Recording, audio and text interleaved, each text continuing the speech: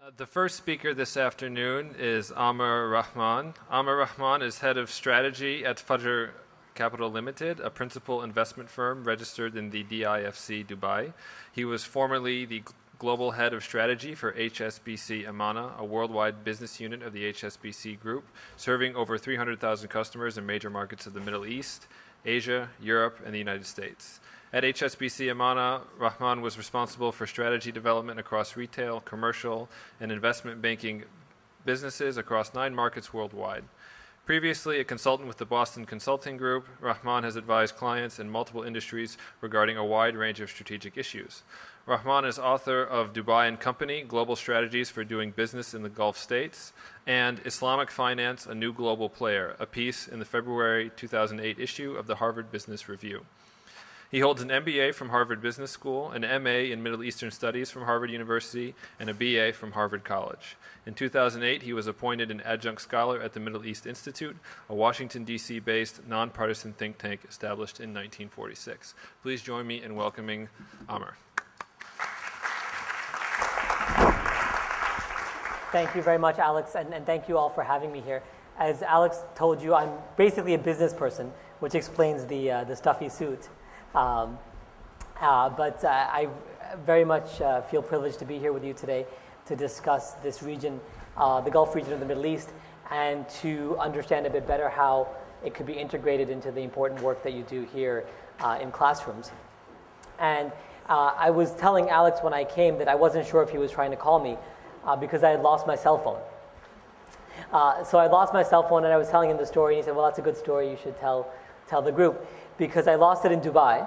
Uh, I just came from Dubai. Um, I don't live in Dubai, I live in New York. Uh, but uh, if you ask my wife, she'll say I, don't, I live in airports um, or something like that. Um, but I, uh, so we were coming back and I lost my cell phone. And this morning has been a busy morning for me because we had a bunch of calls. We're dealing with an investor who's a Saudi investor um, who is uh, negotiating with us some terms. So we've got our company is a Dubai-based company. We've got a Saudi investor. It's being advised by an English law firm. So there's work being done out of London. Uh, and then our legal counsel uh, is uh, principally based in Malaysia, uh, Kuala Lumpur. So basically, this morning, and this is pretty typical in, in, business today, is that we had on this conference call. So there was myself in Chicago, my colleagues in London, uh, the lawyers in London, the lawyers in Dubai, the uh, lawyers in Riyadh, and the lawyer in KL. Uh, so it's, more and more transactions, more and more businesses getting that, that globalized and that international, and I'm sure uh, you're hearing a lot of that uh, in, this, uh, in this conference that you're at. Um, here we go. So what I'll do is I'll speak a bit about the, the Middle East region, uh, particularly the Gulf region of the Middle East. Uh, and what I'll do is I'll speak a bit about what makes it interesting from a global business perspective and how uh, there's some misconceptions about the region. There's some perceptions that aren't, aren't always accurate. Uh, and then I'll talk a little bit about, from a business perspective, how uh, companies go about operating in that region. But I'm not sure, to be honest with you, how much of that, oh, I want to make sure this is as interesting for you as possible.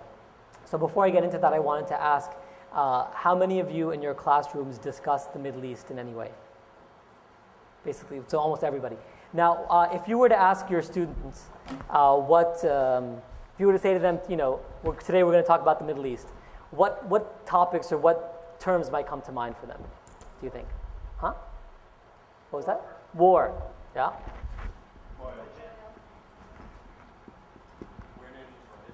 Yeah.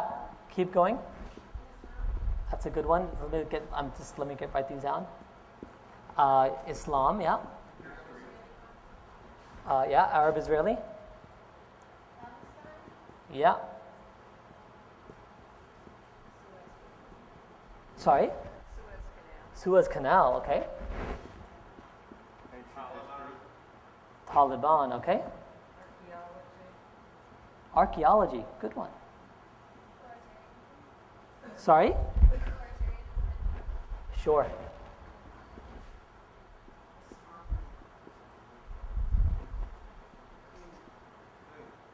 Food. That's a good one.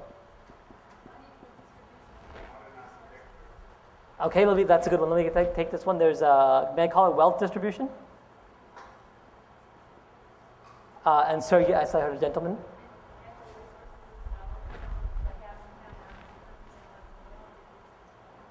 Okay. Uh huh, and? Mathematics. All right. Sure. Let me just ask about mathematics. Is that, do, you, do you talk about mathematics in the Middle East? And algebra and things like that? Or in what context? They started with zero and. Right. That's where that came from. Absolutely. It's interesting. I don't know if people heard that. You, uh, ma'am, what's your, may, what, what's your name, ma'am? Uh, Leslie. So Leslie was talking about how the Arab world originated the concept of zero, uh, and then astronomy, and, and, and then also I added algebra. Uh, algebra is actually comes from an Arabic word al-jabr, which means to break things down. Uh, so break things down and bring them back together. That's algebra. Um, uh, okay, well that's a good list. That's a good, and then what's interesting about this is uh, some of these are about business, but a lot of them aren't. So let's let's focus on the ones that are, or let's circle the ones that are about business. So we got oil. Um, war, interesting. Really?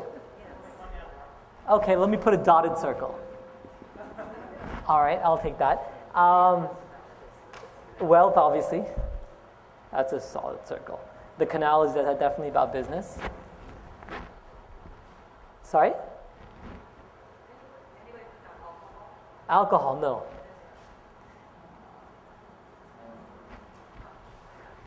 All right. Anyway, well, that's good. So, uh, what I want to start with is that when, when people, you know, when people think about the Middle East, they don't really think about business, customarily, as, as at least as the first set of thoughts. I mean, and, and it's the same with business people. So, you know, a lot of times when I talk to business people about the Middle East, uh, clearly what the things that come to their mind are number one, war. So people say, well, is it safe? Can you really do business there, etc. So war is a very big theme. The Arab-Israeli conflict, uh, of course, is a very important question that people come up with and always raise. Um, the war in Iraq uh, is obviously also quite important.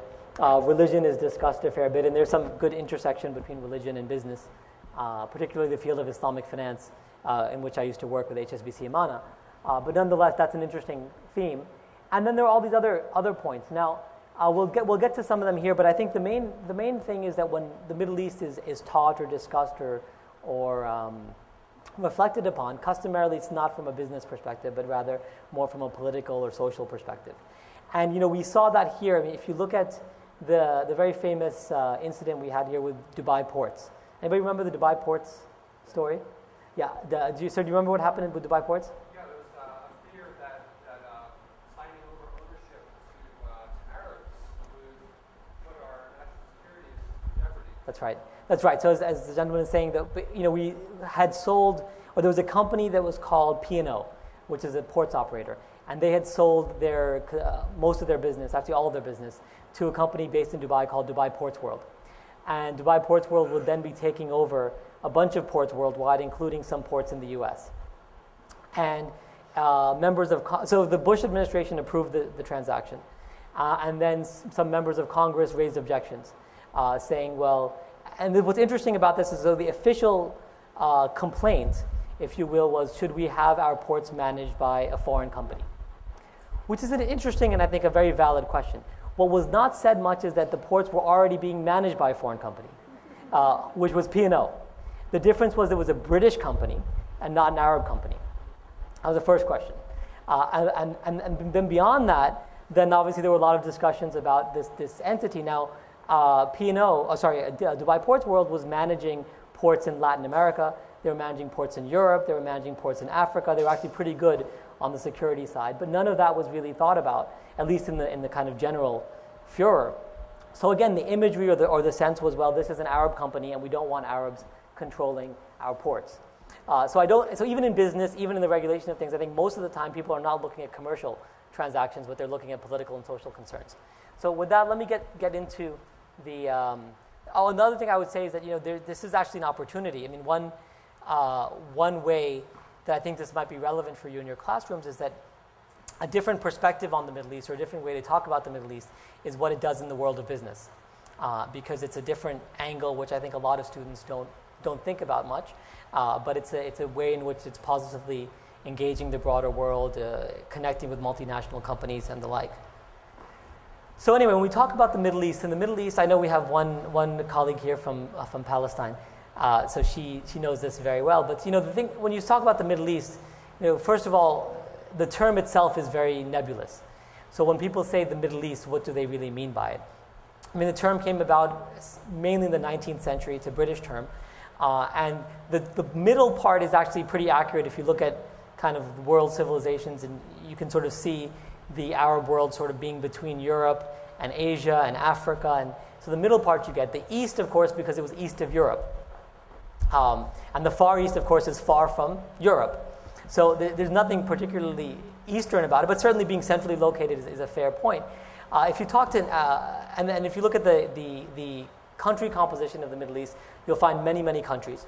Uh, but if you speak with uh, Arabs, or if you kind of look at the Arab world, there really are three clusters uh, that are the, the, the, the, basic essentials of the Middle East. Uh, and they, so if you speak to, to an, an Arab, Arab person, they'll say, well, you know, what, what do we have in the Middle East? Number one, so the Middle East has a term called Asharq al Awsat, which is the Middle East. Uh, and then in the Sharq, in al Awsat, you have uh, Bilad al Sham, is one part. So Bilad al Sham, which means the countries of Syria or the provinces of Syria, which is, I don't know if this, this has a pointer. Yeah, this has a pointer. It's called, we call it the Levant uh, in English. And these countries here, they have a, they have a pretty uh, similar culture, language, food, etc. So here you've got Palestine, Jordan, Jordan, Palestine, uh, Israel, of course, Syria, uh, Iraq, um, Lebanon. Uh, and so you've got these countries, uh, and the Bilad al-Sham is, is, it's a region. If you talk to somebody and you say, uh, you know, I'm Shami, it means I'm from this part of the world, and actually it means something. Uh, Jordan versus Palestine is a fairly artificial distinction. Syria, uh, has again a bit, you know, quite its, its own uh, history, but sort of where Syria ends and Lebanon begins, again, is a, is a matter for um, debate or discussion. But clearly, Bilad al-Sham has a certain identity over here. Uh, and then you have Al-Maghrib, which is North Africa. Now, North Africa has its own characteristics. Uh, there's a lot of French influence, of course. The, uh, uh, the language is the dialect of Arabic is somewhat different, especially if you go to Tunisia, Morocco. Uh, the co- colloquial language that you hear is quite different from what you read in textbooks uh, or from what you hear in uh, the, the Levant. That's a different dialect. So, for example, if you ask somebody, if you're in Lebanon and you want to say, How are you? say Kifak. Right? If you're in, in the Gulf, you say Kif al Hal. Or if you're in Kuwait, you say Shlonak. Uh, so, Kif al Hal is classical Arabic. Shlonak is a nice expression in Arabic, uh, in uh, Kuwaiti. It means, What is your color? Literally uh, but it means how you're doing. And kifak is what you would say, which is how are you, literally. Uh, so there's different, different language, but you know, within, uh, within this region of the Levant, it's fairly common. Within North Africa, it's fairly common. Then you have Egypt. I haven't, I haven't taken out Egypt as its own entity, but Egypt is by far the biggest Arab country. It has about 85 million people in it. Uh, for perspective, there are twice as many people living in Egypt uh, as in the entire Gulf combined. So it's a, it's a massive country. Uh, and uh, it, the Egyptians refer to themselves uh, as Ummah Dunya, which means the mother, the mother of the world, um, which is nice. I mean, basically, it comes, of course, they have a rich civilization. I'm sure you all teach it, the archaeology and all that. Uh, but also, it has, it has, it's such a big country and it has so many influences. And uh, so it's sort of its own cluster by itself. But I've put it in for, to North Africa for simplicity. Anyway, from a business perspective, uh, these regions are, are, quite different one from the other. So uh, the GCC, which is the Gulf region, uh, minus Yemen. Yemen is geographically part of the Gulf, but it's not part of this union called the GCC, or the Gulf Cooperation Council. Uh, you see, they have a GDP per capita of about 20,000 US dollars uh, per person per year, which is by emerging market standards pretty respectable. Uh, and when you look at North Africa, uh, it's far different. So North Africa is about 6,000 uh, and the Levant is less than five. Now, the Levant includes Iraq. And at the time this analysis was done, Iraq was obviously in a very, very difficult spot. So that kind of pulls the average down. But nonetheless, you have Iraq, you have Palestine. So you have um, some, some you know, troubles in terms of political, geopolitical issues in this part.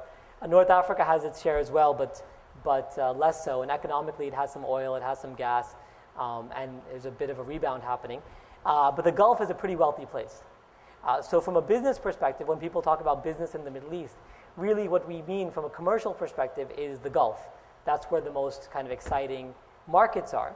Uh, from a social perspective, from a historical perspective, uh, from a cultural perspective, clearly those other places are extremely important. And in fact, this is a bit of a digression. But, um, but it used to, you know, I, I, used to work at a consulting firm called Monitor. Uh, and we had a, there was a professor from, from uh, Harvard who came to speak uh, to us by the name of Ernest May. Anybody read Ernest May? Ernest May is a historian there.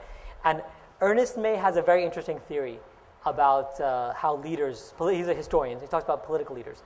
And his perspective is that political leaders act based on a vision of the world as they knew it in their 20s. So, if you want to understand what uh, Churchill did in World War II, you have to look at the world as it was in World War I, because that's when he was a young man forming his impressions of the world, and people generally don't move from their impressions. I think it's pretty, pretty accurate, at least in people that I've come across. I think that very much our perceptions are shaped from, from our early adulthood. The reason why I say this is that if you go to Middle Eastern uh, studies departments around the US and probably around the world, uh, what you'll find in terms of people who, who work there are customarily I- individuals who are focused in, uh, it's not here anymore, but focused on the Levant region or on Egypt. Because when these professors were doing their doctoral studies, culturally, of course, Egypt is the home of Najib Mahfouz, you know, the Nobel Prize winning author. Uh, it's got a lot of good literature, um, and so you'd, you'd study it. And then, of course, uh, Syria and Palestine and Lebanon, again, there's a lot of good history there and culturally very important. So there are very few people actually in the academy today who have studied the Gulf because when they were in school, the Gulf was not very important. Uh, commercially, it's become very important since the 1970s, late 1970s, with the two oil booms. And culturally, frankly speaking, it, it hasn't had much uh, uh, that's been celebrated in terms of cultural contributions, except for being the birthplace of Islam. So, from an Islamic perspective, it's, it's studied and it's understood. But very quickly, if you look at the, the history of Islam, it was born in Mecca and, uh, and Medina. So, if we go back here, it was born in this part, this part of the world, but very quickly spread, you know, far beyond even the region uh, drawn here. And within uh, a couple of generations, you had the Islamic world being ruled from Syria, Syria and Baghdad. So, so that was, uh, you know, pretty quickly the Gulf lost its political importance. Um, so anyway, that's, that's an important, uh, if you will, a bit of a digression. But the Gulf is not typically focused on by a lot of academics uh, in the Middle East. Now, from a, from a business perspective, now I know that this, this session was positioned as a case study, uh, which I think is a good way of looking at it. So what, I'm, what I've done here is this is essentially a formula uh, in general for business analysis. So when business people look uh, at an opportunity or look at a region, what is it that they're concerned about? And and what makes them choose to do business in one place versus another. So the first issue, is, of course, is wealth. You know, wealthy countries tend to make more attractive markets for business people. So if you sell automobiles, or if you sell soap, or if you sell cars, uh, if you sell, um, you know, uh, appliances, whatever it is, most companies, they, the first thing they look at when they look at a market is GDP uh, overall, but in particular GDP per capita, which is a good way of understanding whether people can afford to buy the goods that they sell. So that's an important one. Now, the Gulf, from that perspective, is pretty exciting. Uh, as I said, $20,000 per person per year uh, is a pretty respectable GDP per capita, especially by emerging market standards. To put that in perspective, India uh, is five times less than that amount. So India is about 4,000 or so GDP per capita, and, and China is a little bit more, so it's about six. It's about three times that amount, uh, or one third the amount, sorry. So basically, you know, from a, from a GDP per capita, from a wealth perspective, the Gulf is significantly more attractive than other emerging markets that you hear about. Uh, where it's different, though, is in terms of absolute size. So there are only 40 million people in the Gulf.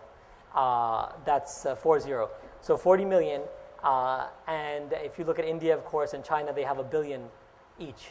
So it's much, much bigger market. But in terms of uh, average uh, wealth per person, you find more of it in the Gulf. The second thing that you look at when, from a business perspective, and again, socially, it's, it's, it's also very interesting, is the question of demographics. So for people who work in marketing, uh, like you know, for example, you know, Coca-Cola. Uh, so the main thing that Coca-Cola tries to do, or Pepsi tries to do, or or these other brands try to do, is you try to capture customers when they're young. Because the overriding belief is that a young customer, uh, you know, is a good, better one to have because they'll consume longer, they'll develop brand loyalty, etc. So in when you do uh, business analysis for companies, customarily what you'll do is you'll look at the age group of 15 to 34. For some reason, that's what the pollsters and everyone sort of see as, as the sweet spot. So 15 to 34, that's the best kind of customer you can have. Uh, we'll talk about the demographics of the Gulf in a minute, but you'll see that it's a very, very young population, and that, that holds for the Middle East as well. More so for the Gulf than elsewhere, but generally speaking, the Middle East is a very young place. Uh, a lot of young consumers, uh, which from a business perspective is, is attractive. From a, from a social perspective and political perspective, it's quite challenging. Um, because obviously those young people need schooling, those people, young, young people need jobs, uh, and they need to become productive members of society. So, anyway, that's, uh, that's the demographic story, but it's very important for any market. Um, the next element, of course, for, for business people is regulation. So, there are certain, the Gulf actually became very attractive for business in the late 70s and the early 80s, but the issue was that it was very difficult to do business there. Uh, there were prohibitions on owning your own company. So, again, within the Gulf I'm talking about, you could not uh, open your own business a, and have it be owned by a foreigner. So you needed a local partner, and that was complex. Uh, and then there were various laws about what you could do and you couldn't do, and so it, it was difficult. Now all of the Gulf states have joined WTO. They're getting more and more open, so it's getting a bit easier, although still it's not completely as easy as, as one would uh, perhaps hope. But nonetheless, regulation is another, another key factor that people look at. So, so the reason why I put this framework here is that in any case, if we're talking about the Gulf or if we're not talking about the Gulf, uh, this is something interesting for, for uh, people to consider is, well, what are the various factors that a company looks at when it's thinking about doing business uh, in, a, in a country? All right, here, this is some of the numbers I've already talked you through. Now, GDP per capita um, is, um, in the U.S., is a you know, very respectable sort of $45,000 or so. Um, and if you look at Japan, it's, it's sort of between 30 and 35. The Gulf, as we said, is nearly 20. Now, China and India, I've already talked about. China is about a, a third of this. India is about a fifth of this. Uh, but if you look at, at the wealth, GDP per capita of G- the GCC, it's sort of like Portugal. Right? Now, Portugal is a very respectable country. Uh, don't get me wrong, but I don't know about you, but a lot of young people that I see, when you talk to them about, say, Saudi Arabia, I mean, how, what do they think about people in Saudi Arabia in terms of wealth? Any thoughts? Yeah. Oil sheikhs, right? Oil sheikhs and, and, and Rolls Royces and private jets and you know fancy jewelry and all that stuff. Which you know, there's I'm not denying that there are such people. Of course there are, but on an average per basis, it's not wealthier than Portugal, Saudi Arabia. Uh, and in terms of the um, the um, you know the the the uh, uh, social issues or the average man on the street, Saudi Arabia has a lot of issues. Saudi Arabia's unemployment is about 20% uh, in any, if you take any sort of real, real look at it. The official figures are more like, I think, 12 or 15, but in reality, it's more like 20. You have homelessness. You have, uh, you know, you have pretty big issues there. So it's, it's not to say that Saudi's a, a place where everybody is, is wealthy or the streets are paved with gold. Um, but in any case, so this is just for perspective. The Gulf, by emerging market standards, is pretty, looks pretty good. Compared to India and China, it's, it's a pretty wealthy place. Compared to the U.S., it's not even close. Uh, uh, so, you know, we're wealthier on a per capita basis than they are. Now, this is, an, this is a nice chart here about population growth, or the drivers of population growth. So here, on one axis, you have lifetime uh, births per, per woman. So on average, how many uh, children does a, does a woman have? And on this side, it's sort of related to that is how much the population was expected to grow between 2006 and 2050. So if you look at the US, so we have on average two children per, per woman, uh, and between now and 2050, we'll be about 40% bigger as a country, based on projections about how long people will live and the people being born, which is a pretty big, you know, pretty big growth, you know, compared to other places. You know, a lot of parts of Europe, for example, the figure is very different. It would be lower because you have fewer births per woman. Um, and therefore the population is not growing as fast. In any case, if you look at Saudi Arabia, it's really frightening. Uh, right? Between four and five births per woman, uh, and the population essentially is going to double. Now, now this is important because you have a similar uh, doubling effect happening in UA, the UAE, Kuwait, and Qatar. But from a social perspective, that's not nearly as troubling because these are much more, these are much wealthier states and these are smaller states and they can absorb the growth. Saudi Arabia is a 25, 27 million uh, person country, and that's kind of a, that's a very concerning figure. Um, but in any case, the, the point is that, that from a population growth uh, and a youthfulness of markets, Saudi is, is important, as is the rest of the Gulf, and quite different from, from the US. Now, this is a nice chart here about, uh, this is called an age pyramid. And, and the way, has anyone seen an age pyramid before? Oh, okay, great. So you, you, so you know age pyramids. All right, so if you look at the age pyramid here, basically what we have in, in the US is these are, so you start to see the baby boomers here, the kind of the big bars, uh, and then here are senior citizens. And essentially what you see is the population, at, when you get to this point and beyond, is more or less regenerating. So we have more, as many people as we have, for example, between uh, 15 and 19, we've got about the same number of people between 10 and 14. So they're all kind of moving in tandem. Now, obviously, our life expectancy is going up, so the population will still grow. But you know, there's a pretty, pretty stable replacement uh, of the population. If you look at Oman, which is just in one of the Gulf, six countries in the Gulf, uh, GCC, Oman is an interesting example because if the single largest age group is zero to four. So, and it's pretty remarkable. It's worth pausing on. So, the single largest age group in the country is between zero and four. And then the next biggest one is right above that, and the next is right above that, and the next is right above that. So here you're talking about countries where majority, a majority of the population, certainly in Oman, is below the age of 15. Um, and the kind of infrastructure that you require, just the social infrastructure, as all of these young people age, they need to go to school. The schools need to be built. The universities need to come. The job training needs to be there. The jobs need to be created. It's pretty, it's a pretty daunting task. Um, so, so that's an important figure. Yes.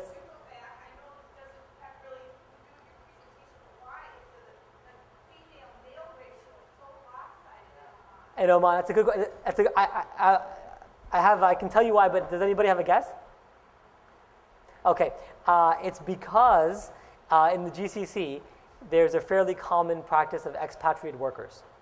Uh, so what you have are expatriates, especially from South Asia, uh, who come, and, and the Far East who come to work.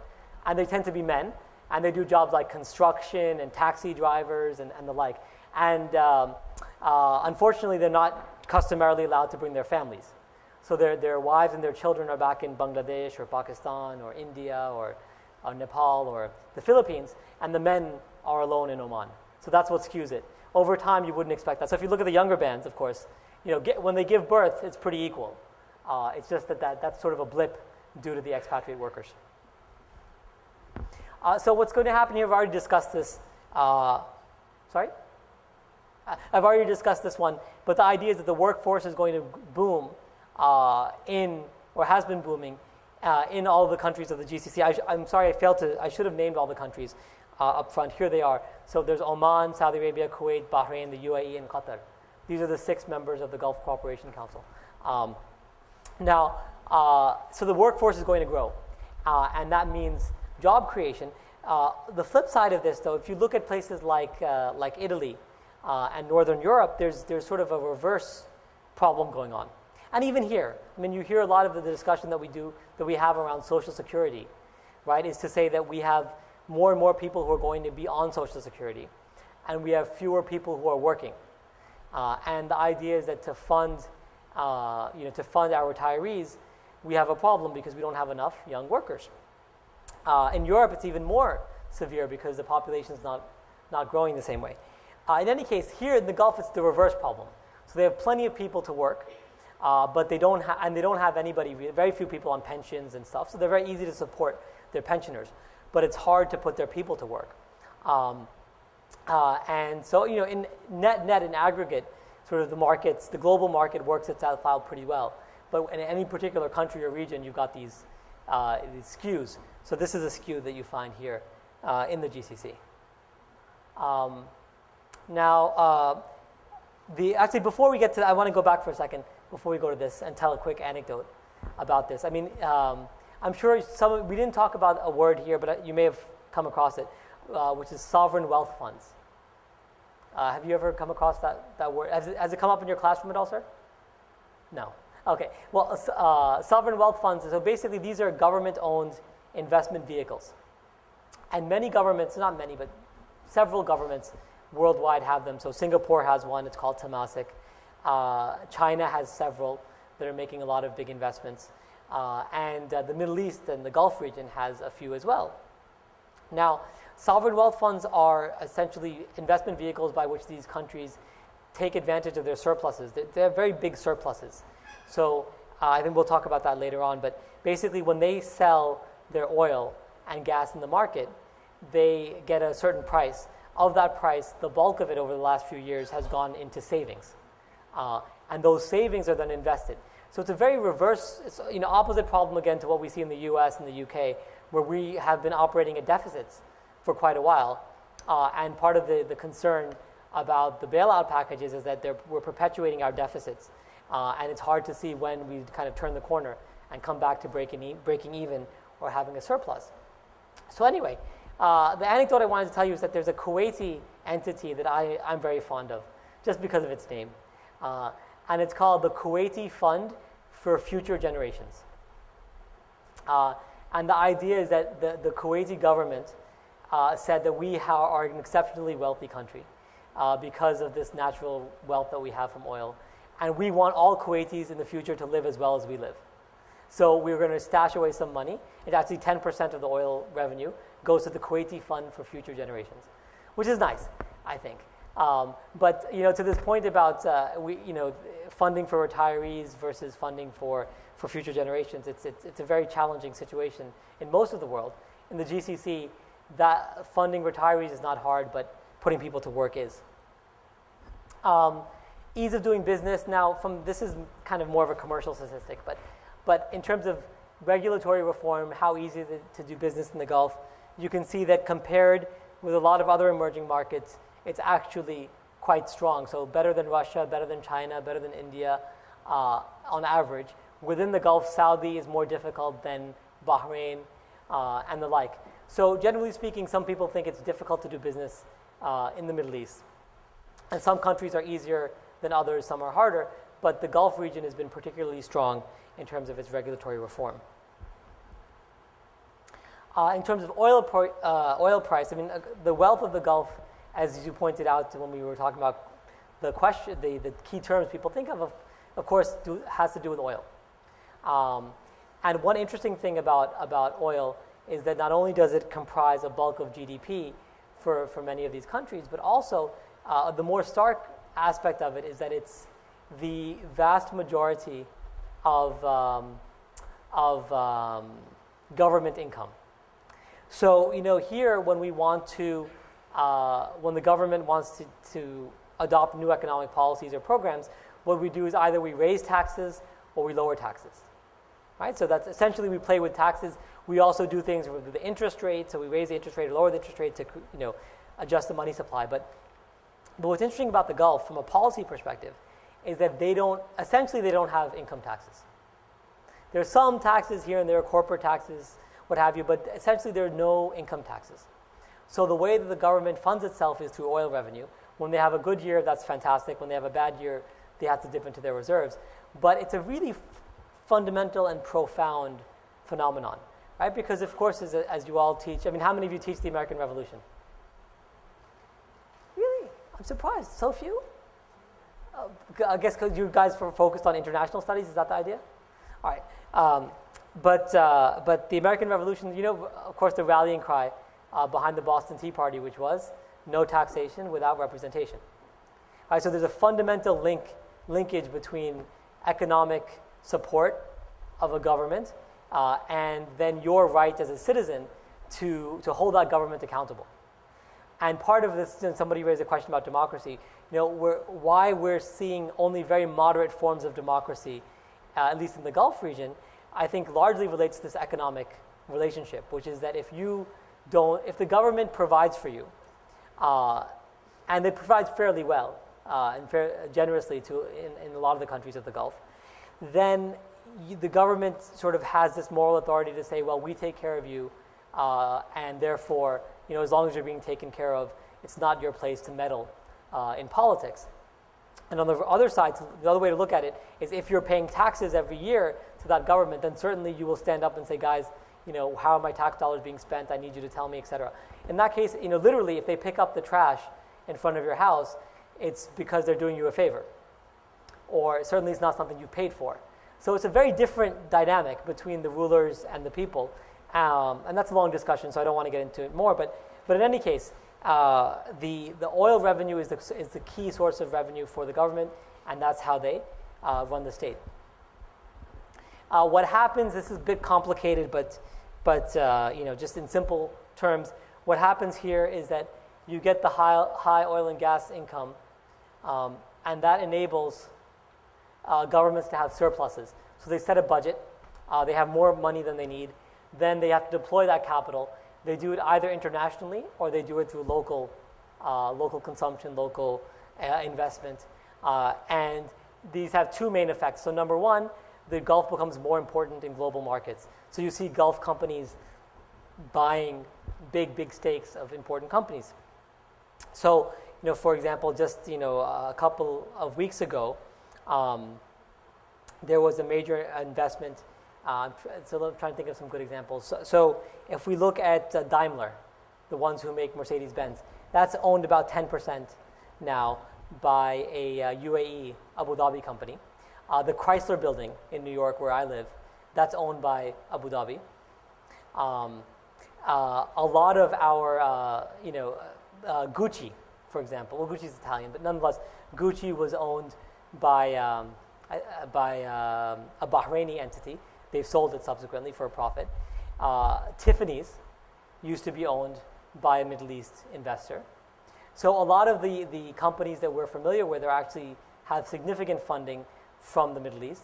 And even more kind of, and, and I know you're hearing about China and India later, um, uh, but even more significant is the, the, the treasury notes that these countries hold. So treasury notes are the IOUs written by the U.S. Treasury, uh, and they need to be bought, uh, and that's what funds gives liquidity to the U.S. government.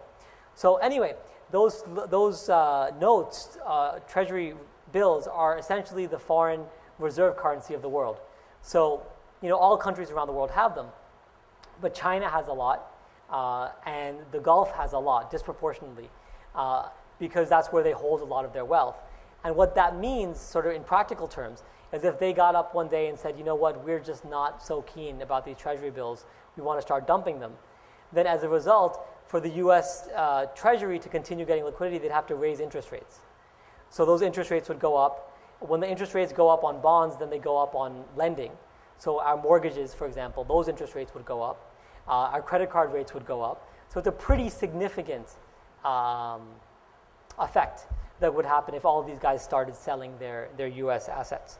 So, in any case, that's important. But what also you see happening uh, is that a lot of the wealth is being channeled to the local economies to make those economies stronger. Um, and that's what's making it more attractive for many to do business. Okay, uh, now with regards to, um, to unemployment, you know, I've already talked about this. In the Gulf, you have three, three of the six GCC countries have double digit unemployment, uh, them being Bahrain, Oman, and Saudi Arabia. Uh, and three of them, Qatar, the UAE, and Kuwait, have basically no unemployment, you know, very little unemployment. So that's a good thing. And this is why I said before the fact that the population is growing in those wealthier countries, not as much of a problem. But it is a problem with the first three. Um, now, this is a, uh, you know, one misconception that people have about the Gulf, of course, is that, is, and the Middle East in general, is that women are uh, sort of not, they don't play a central role in the economy and in decision making processes and the like. Uh, now, the statistic I have here might be surprising to some, but more than half of college students in the Gulf are women. Um, uh, and these women obviously are getting their degrees and then they're entering the workforce. And it's quite interesting because when they enter the workforce, again, this is purely from a business perspective, they're, they are very, um, they're very kind of attractive, if you will, customers because customarily in, in, in uh, Middle Eastern culture, uh, uh, women and men both, but more so women, don't leave their parents' home until they get married. Right? So if you imagine somebody who's working a job, uh, who has a, you know, a decent income, but she has no rent to pay, she, if she might have a car, uh, she has a cell phone. But basically, all of what she's earning goes for her personal consumption. So you find a lot of uh, young women in the GCC, some of them are saving, but, uh, and a lot of them are also are consuming. So they're buying nice handbags, they're buying fancy cars, they're buying these things. So in any case, that's a, it's an important market. Um, and from, from a decision-making perspective, there's still a long way to go. So the Gulf, you know, really needs to do much more to bring, uh, to bring women into leadership roles and, and make it easy for them uh, to have equal access. But you know, you're starting to see some very good signs. So I used to work for a consulting firm called the Boston Consulting Group, and we were doing a project in the UAE, and some of our partners were concerned, saying, "Well, you know, when we send our female colleagues to do business there, how will they be received?" Uh, and so, you know, first of all, it's it's it's, it's a very. Uh, I mean, if you've seen pictures of Dubai and if you know read about Dubai, and you'll know that it's it's a very open place uh, in that respect. But more fundamentally, uh, it was nice because our client was the Minister of Economy for the UAE, and she was a woman. Uh, her Lubna Al Qasimi is her name, and she's the, she was the Minister of Economy. Now she's the Minister of Foreign Trade. So there are women in the cabinet. They have female ambassadors, uh, and it's getting a bit better. But you know, there's still a long way to go. The good news is at the educational level, there's clearly equal access to education, um, and uh, we're seeing that play out in the universities, which is good. Not necessarily true uh, all around uh, the, the Middle East and all around the Islamic world. Uh, but in the Gulf, the story is pretty, pretty positive. Now, these are just nice images um, of products here. These are obviously all brands that you recognize uh, and how they're marketed in the Middle East and in, uh, overall as well as in the Gulf. Now, one misconception, which I think is pretty much going away now, but you remember from, um, you know, right after the post 9 11 sort of days, you know, President Bush used to talk a lot about how, or used to say, why do these people hate us? You know, and the idea that they, they being sort of a nebulous sense of who they are, but sort of the Middle East, they, they sort of, they, they have a aversion towards the U.S. They hate everything American. They hate our freedom. They hate our uh, way of life, etc. Uh, in terms of our way of life, it's very hard to make that case because they consume a lot of our products. Right? They buy our brands. They drink our soda. They wear our jeans. They send their kids to our universities. Uh, so, in terms of from a consumption perspective, the, the perception of the U.S. and U.S. brands are very, very positive. What's not as positive, or has not been historically as positive, is the kind of political perspective on U.S. foreign policy. Um, and I think you know with this with the president's speech in Egypt, hopefully that'll be a step in the right direction and things will improve. But clearly, there's not there's no mass aversion towards all things American. Uh, not even in you know, Saudi Arabia, which is seen as a, as a more hostile state vis-a-vis um, the U.S. Uh, politically. But in terms of consumption, the consumption is very, very high of American goods.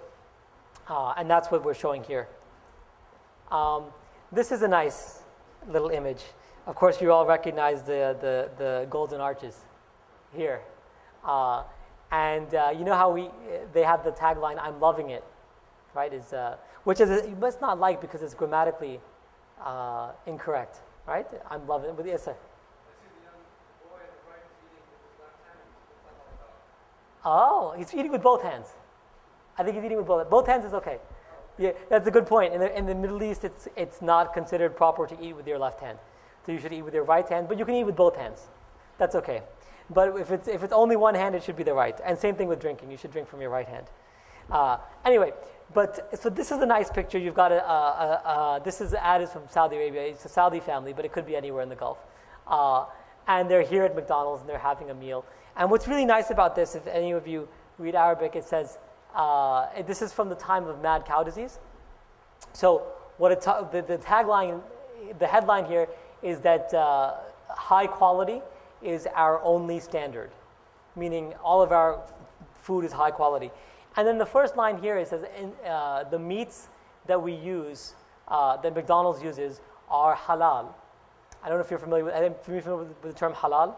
So halal means they're Islamically permissible. So that's a point that they raise. It's actually interesting they say that first, uh, and then they say it is the best uh, type of uh, cow meat uh, that is purely 100% beef, uh, so on and so forth. So anyway, it talks about how they don't have mad cow issues. That's really the impetus for this ad. But it's nice because you see this, this, this Arab family, you see the, the boy and the girl and the mother and the father, uh, and this is sort of, you know, it's interesting because it's, it's the, if you will, the American way, but more sort of circa 1955, right? In the sense that not, not many people today would say that the ideal family outing is a, is a trip to McDonald's. It's sort of kind of been seen as down market. But, but anyway, this is not so different from the culture that, that we're familiar with. All right, this is uh, no need to talk about this in detail. But what we have here is the whole um, marketing uh, approach. So how you customize products, and this is not again not specific to the Gulf. So this is something you could use for any country. You're talking later about China and India, uh, and um, you know you could use the same thing over there, which is to say that you. Sorry. We were thinking you were right, this is not particular to the. Right, this is not particular to the Gulf. This is this is just a framework around marketing. So first of all, there are some some uh, some products that are not customized at all when you market them. So, for example, French shampoos, uh, or French, sorry, French perfumes, um, Italian purses, and stuff like that. I mean, I guess part of the appeal is that this is Italian or it's French or German or what have you. So, you actually wouldn't, if you were trying to market that in the Gulf or anywhere, again, China, India, Russia, Africa, you would say, you know, this, you would keep the marketing as it is. Uh, then you've got this message about the point about adapting the message. So that's what most, most goods and, and services do. We, we, I just showed you Pepsi, uh, sorry, uh, Coke and Sprite and Crest. So customarily what's done is you'll take your uh, universal branding, you'll translate it to Arabic language because that's important. Um, and then what you'll do is, uh, you know, you'll market it with a pretty similar um, set of themes. So for example, uh, and there's a, I have a table of this in, in Dubai and Co. If, if, you're interested in looking at it in detail. But you know, HSBC, their tagline is the world's local bank. In Arabic, it's Al Bank Al Muhalli uh, Al Alami, which is a basically literal translation. Uh, if you look at, um, this is a really nice one. Is uh, I think it was Ford used to have their their um, tagline as drive. It was just drive. Uh, and what they've said in Arabic is tawalla uh, uh, al-qiyada uh, or tawalli al-qiyada which is it means to it means take literally means take the lead it also al-qiyada is also driving so it's a pretty it's fairly literal but what's nice about it is if you said to, if you would say drive it would say it means siq. You would say siq in Arabic which is uh, which is not a very pleasant thing to say to somebody. Uh, drive. It's a bit rude. So they've actually made it more more positive by adopting it. So it's nice. Um, Anyway, so that's what the custom is. The custom is to take your tagline, make it a little bit different, um, and translate it into Arabic. Um, uh, adapting the portfolio, this is about kind of introducing um, or, or sort of changing your mix of products for, uh, for that region. Now, one thing is, how many of you shop at Zara? Anybody shop at Zara? Yeah. Uh, um, well, Zara, it's very interesting. So my wife and I went to uh, we were on one of our trips to the Middle East, and my wife was saying how she really loves shopping at Zara uh, in the Middle East because my wife, so my wife wears a hijab, uh, and so she wears long sleeves, uh, and finding long sleeve shirts is not easy uh, if you go to a, mall uh, in the states. It's pretty difficult to find you know kind of long sleeve stuff, especially that's light for the summer. So she always had a hard time. She has a hard time buying stuff. Anyway, when she went to Zara in the, in the, in the Gulf, it was really easy so this intrigued me because you go there, you see all of these long skirts, you see these nice long shirts, like flowery prints. So I was, so I was surprised. So I said, you know, I, I really want to investigate this because this is, this is pretty, pretty cool. I mean, they must have done some research or whatever. Turns out it's actually not particularly sophisticated. Or I should say it's not, it's not deliberate, but it is sophisticated. Because what Zara, Zara's whole uh, merchandising strategy is that they, they, they a lot of products so they have more variety than like you know the Gap or Ann Taylor or you know other such uh, such designers. Um, and then what they do is whatever sells, they make more of. Right? It seems pretty, pretty logical, right? Uh, whatever sells in a particular store, they bring more of that stuff.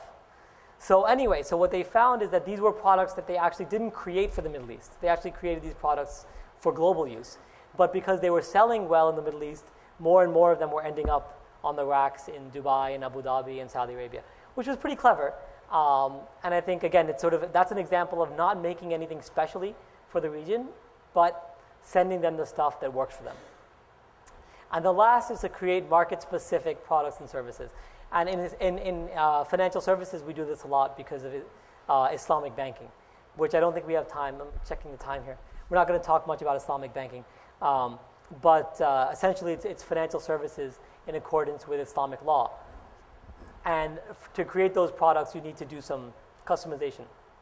So most of the big banks in the world have done so. HSBC, Citibank, uh, Deutsche Bank, um, uh, Credit Suisse, the whole, you know, most, almost all the European banks, and then, as I said, a couple of American banks.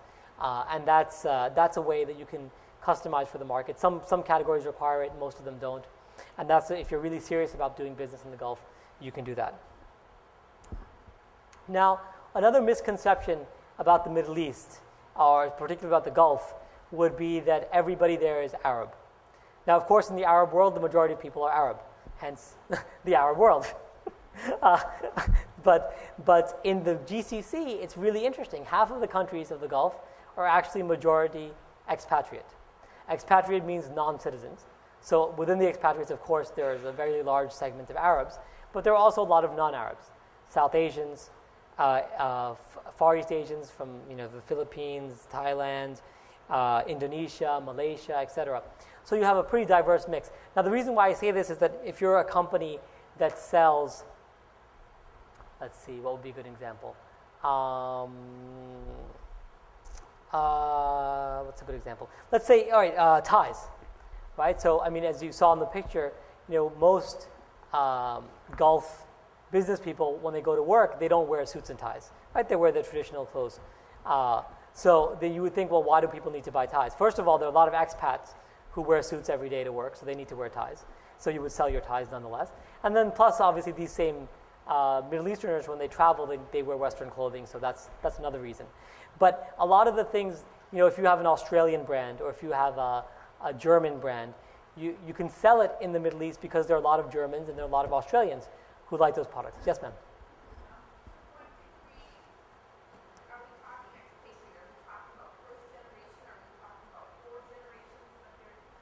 Sure. All right, so expatriate, so, so the question was how do you define expatriate? Is it first generation, fourth generation, et cetera? Now, one of the major problems uh, in the GCC, if you ask my personal opinion, is that there's no process of naturalization. Um, meaning, uh, you can live in the Gulf for your entire life as a foreigner. And I know people like this who've worked there 30 years, 40 years. The day their job finishes, they're gone. Uh, no nationality, no citizenship, no permanent residence. It's really bad, in my opinion.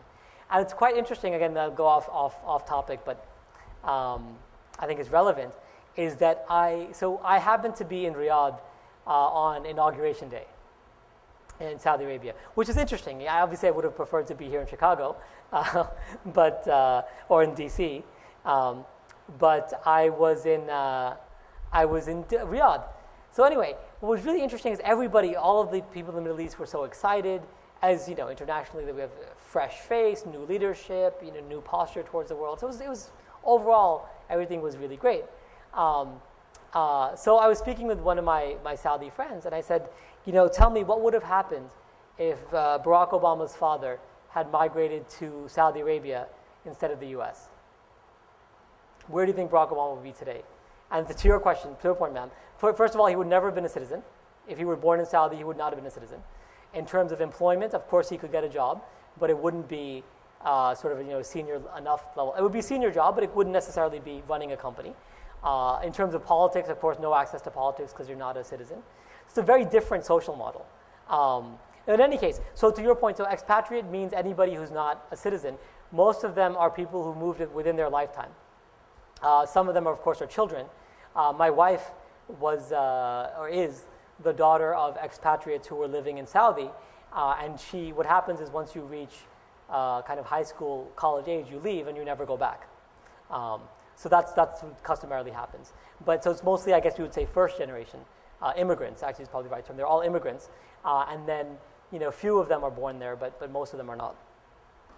Um, all right, uh, so that's the GCC uh, in terms of the, the uh, ethnic break, breakup. Now, forgive this, this, this chart, it's a bit uh, simplistic, but the, it's a, the point we're trying to make here is that, you know, if you look at the, the world's great uh, civilizations, customarily, the way they've evolved is there's a sort of what we call sustained institutional development. So, to use the example of the, of the UK or Britain, you know, you have uh, the universities, so they establish Oxford, they establish these various institutes.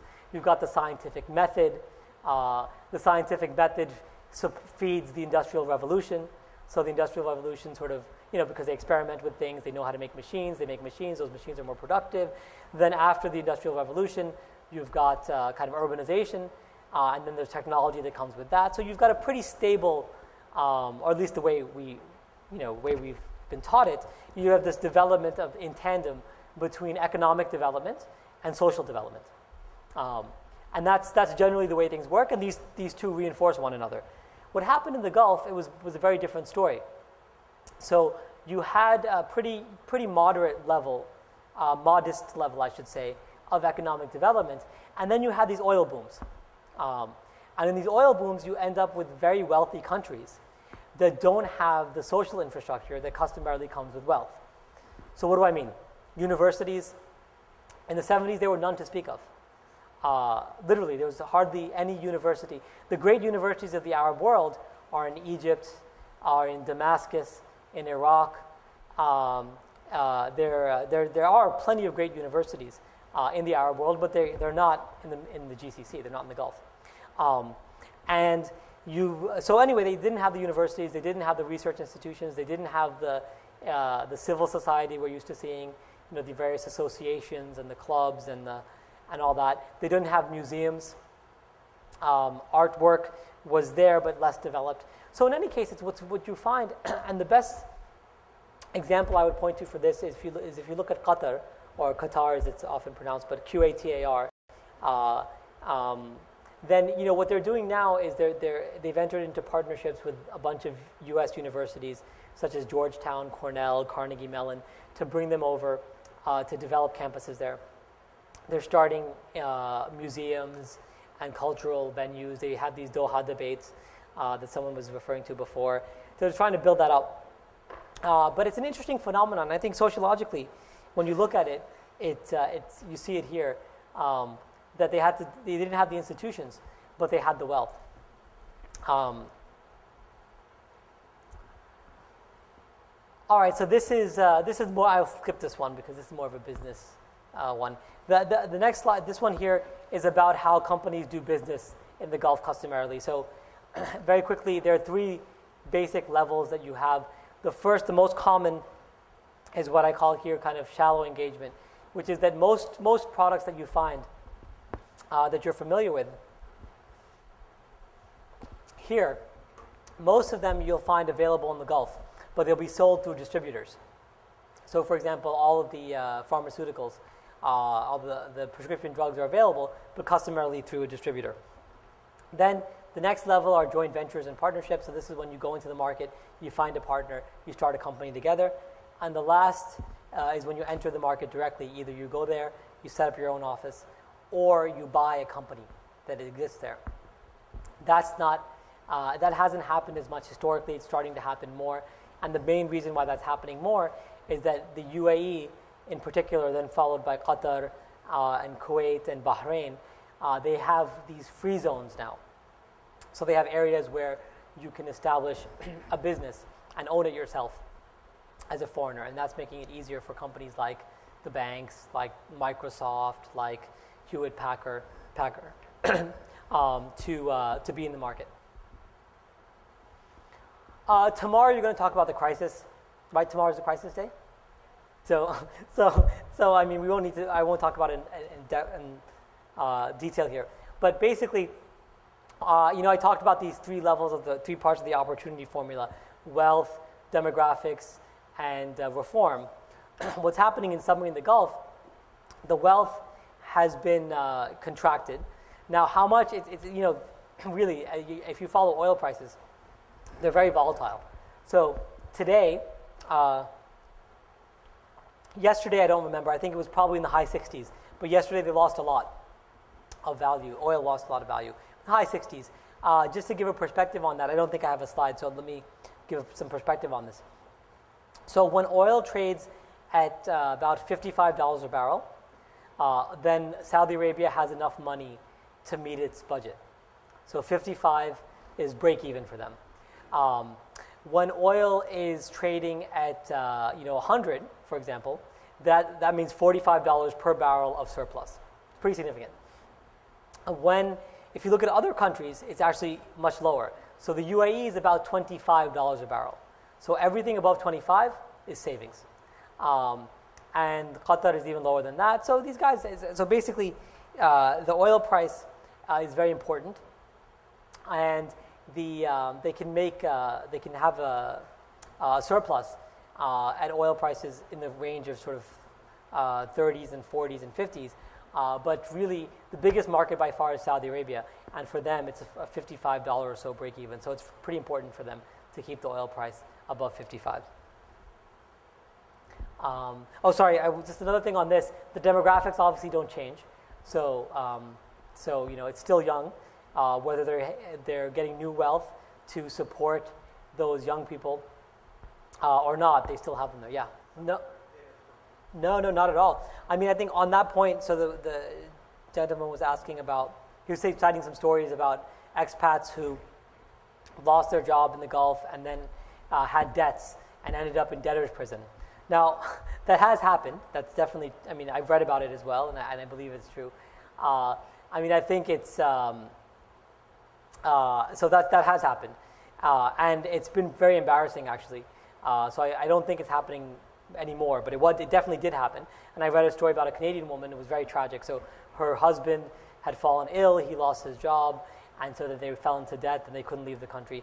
I mean, the reason for that, I mean, again, this is not to justify but the reason for it uh, is that because they have the expats, uh, uh, so many expats, and when the expats leave, there's no claim that they have on their property.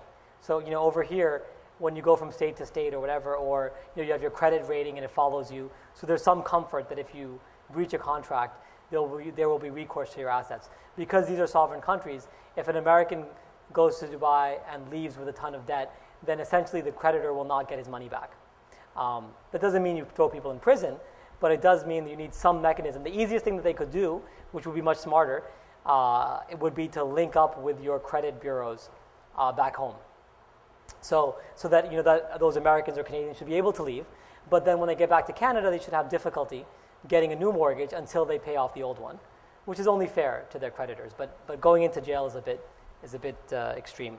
Um, uh, so yes, now but you talk, talk, about protectionism. Protectionism is there, uh, and I think you know the general trend has been towards reform or openness. Now I'm afraid we might start to see more, more protectionist pressures. It's not clear if that it'll turn out that way. There are a few test cases that we're looking at uh, that should give us a sense. The most interesting one to me is in Saudi Arabia.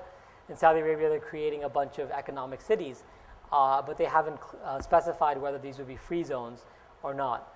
Um, and if they're not free zones, that means that only Saudis can can uh, start up companies there, which would help the Saudis. It's not necessarily a bad thing, but it wouldn't be as useful for international business. Um, all right. Now, this point here, uh, and this, I think this is more for me to kind of leave it uh, with you as a uh, placeholder for tomorrow when you talk about the crisis. Because I, I, I don't know, of course, how it'll be discussed, but there are policymakers or government officials have two kinds of tools to respond to, uh, to changes in the environment. Uh, right? There's monetary policy and there's fiscal policy. So monetary policy is things like raising the interest rate or lowering the interest rate or issuing new treasury bills or own, buying back treasury bills. That's what's called open market um, uh, transactions or activities. Um, now, the, uh, in the Gulf, they have a big problem with this because their currencies are all pegged to the US dollar, with the exception of Kuwait. So, what that means is that the interest rate essentially is set by Ben Bernanke. Um, uh, and this has been historically uh, sometimes good, sometimes a problem. So, where it has been a problem is that their inflation rate has been quite high because their interest rates are low. Um, and typically, when you have high inflation, what you do is you want to raise your interest rate. But they can't raise their interest rates because they're pegged to the dollar. So, essentially, the dollar rate is what, what governs. So, that's important. So, uh, if they want to contract or expand the economy, they can't do much on the monetary side. On the fiscal side, there's some, they, you know, they have some flexibility, right? So, obviously, they can scale back or, inc- or, or increase the benefits they give people. Politically, it's very difficult, uh, as we see everywhere. You know, once you give a benefit to someone, the French are having this problem, right? When you give benefits, it's very hard to take them back. So, although theoretically there's some flexibility, it's quite difficult to convince people that that's you know to accept that, especially as we talked about politically, when you don't give a lot of political participatory rights to people, then uh, at minimum what they expect is whatever benefits they've been getting should remain. So they don't have that much flexibility there. But where they do have uh, uh, flexibility is in government investment. So they can either invest, they can put money into the economy. Uh, you know, what we talk about here, the stimulus package. so they can have, they do have, their own stimulus packages to invest in power plants and roads and highways and um, other projects that will create jobs for their locals. And that, that's, that's where they have flexibility. But what's interesting, again, is that if you compare, compare what a, uh, a Gulf leader is able to do uh, versus what a UK or a US or a, a, Western European leader is able to do in terms of levers to pull, they have fewer. Uh, and that's it. I, I, I want to leave enough time for Q&A. So um, uh, this is my contact information in case you have more questions or want to discuss anything. Um, uh, but um, I'm actually more interested in hearing your, your questions. So we'll just pause here, and I uh, thank you for your attention.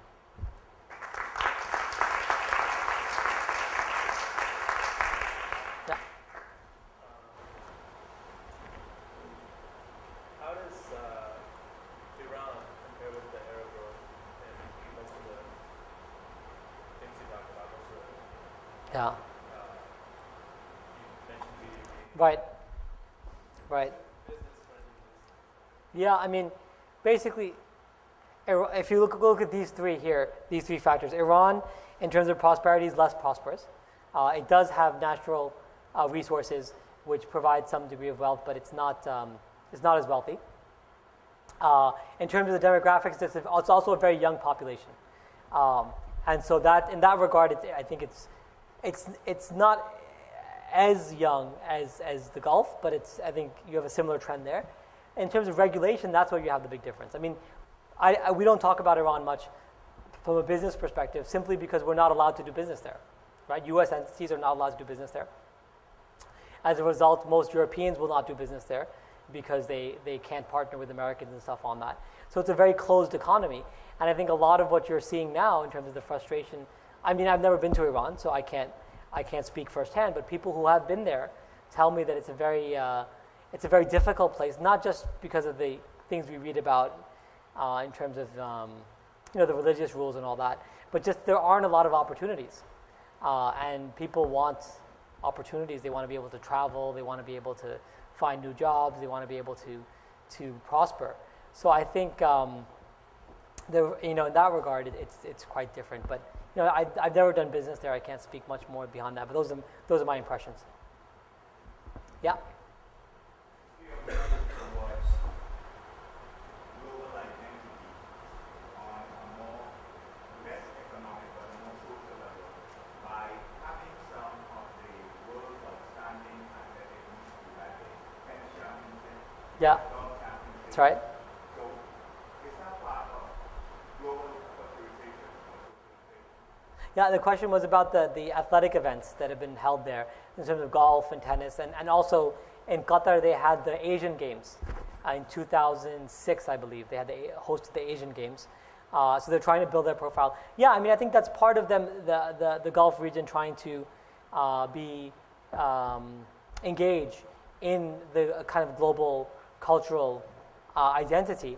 I mean, I think that right now there there are, you know, as I think with any uh, global culture or any culture, there are competing tensions. So on the one hand, there's a push to position the Gulf uh, and the Arab world as sort of world class and sophisticated. Uh, so things like you know having Tiger Woods go there and play golf, uh, which he does, and he has a golf course over there. So that's kind of a way of, of positioning themselves as legitimate, world class, you know, good enough for Tiger Woods. What you don't see uh, as much as from the Gulf is sort of cultural produ- products of the Gulf being taken outside with some degree of, if you will, pride, right? So you know, like for example, India, you've got Slumdog Millionaire and all that, right? Which is to say, look, this is a Western uh, movie. It's won, it won the Oscar for Best Picture. It's about India. India produces culture. You- Obviously, Bollywood before that. India produces a lot of culture that's consumed outside. In terms of the production of, of Arab culture that's then used outside the Arab world is not as much, but it happens outside of the Gulf, right? So Egyptian films, Egyptian novels, they are pretty, pretty widely read and people appreciate them, especially in Europe. Um, uh, and in, within the Gulf, they're just starting to do that. And the way they're doing it now is they're essentially bringing in expertise from outside uh, and then focusing it on the local market and, and taking it out. But I think that's going to be the more interesting side. Today, what they're trying to do more of is sort of show that they can attract the world world class events. Yeah. I guess I feel like there's a piece missing in my understanding of the economy. I know you, you know, this is more uh, specific presentation, but I think about doing business in the Gulf states. I Huh? think about, you know, the society, uh, demographic kind of uh, elements. I Yeah. think about the huge non-national population and notion of, you know, what's popular culture, how's that expressed. Um, do I want to do business there? Is it labor, uh, Yeah. issues, labor rights? Yeah. I've heard, I've heard a lot of stuff Yeah. um, about that and just wondering if that acts as a deterrent. Um, it sounds like a lot of business we talked about is sort of high end Yeah. and you know, I just there's a big piece missing in my understanding of, of this, of this sort of uh, this place to go and do business. Right. No, and so, so I mean, like, the, the question was about the social social aspect, social culture, um, uh, and you were your observation is a lot of it seems high end. What we're talking about here. Um, now, to to address your your comment, I think it's, it's there are several aspects to it. Now, one is in terms of culture. So, if your if your question is sort of what to what degree is there a common culture, because you talked about how their expat populations are very large. I mean, what I've seen uh, and I think what's common in the Gulf is that you essentially have a pretty fragmented popular culture uh, and fragmented by uh, ethnicity or national origin. So the the um, obviously in any country the locals will have their circles, but for example the Egyptians will hang out with other Egyptians, the Indians will hang out with other Indians, the Indians who live in Dubai, for example, uh, will it's, it's a lot. I mean, if you see the way that they behave, the way they eat, what they do, it's a lot like they were in India. They read Indian papers, they speak an Indian language. They so what's interesting about that is essentially you've got an, an amalgamation of, of cultures. What has not yet been formed is really a um, uh, kind of a common social culture that, that goes across all of, this, all of the uh, nationalities. Uh, so that's there. Now, what does that mean for business? I mean, you said you, you know this is a lot of high-end stuff. There is also the general mass consumer uh, marketing, but the reason why a lot of American companies haven't focused on that is because the market size is not that big. So 40 million is about the size of California from a you know, number of people perspective. So, so that's why they haven't. If, if you have to make something specifically for the Gulf, then you know you may not do it because the market's not that huge. It's not like China or India in that respect. Um, but I think then the angle again is more for getting those. If you want to market to those expats, it's sort of a home country type proposition. So the Indians, uh, for example, or the, the, the, the let's say the Russians living in uh, the UAE, watch Russian satellite TV. They, I presume, they drink Rus- Russian vodka. Uh, they speak the Russian language. So that's you know, it's, it's kind of a little pocket of Russia within within the Middle East, which is uh, you know, uh, interesting for us. Very different from what we're used to. Um, anything else? All right, well, thank you very much.